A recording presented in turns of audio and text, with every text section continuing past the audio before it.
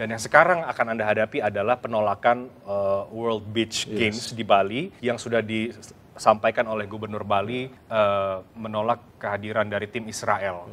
Uh, sebagai Menpora apa tanggapan Anda? Ya sampai hari ini sebenarnya kita belum dapat ada surat resmi dari Gubernur Bali kepada pemerintah pusat nampaknya atau tertuju ke Kemenpora itu belum ada penolakan tapi mungkin beliau kemarin ber- berstatement ya di media ya kita paham situasinya kan jadi ya dalam dekat ini saya akan menemui beliau untuk komunikasi dan juga masing-masing stakeholder memang kita harus jalin komunikasi dan memastikan semuanya bisa berjalan. Oke, apa yang uh, ingin Anda sampaikan ke Gubernur Bali dalam pertemuan itu uh, sikapnya pemerintah Kemenpora bagaimana terkait dengan kedatangan tim Israel di uh, World Beach itu? Baik, kalau Kemenpora Mas, itu sebenarnya kita kita ini lebih tanggung jawab pada suksesnya penyelenggaraan eventnya.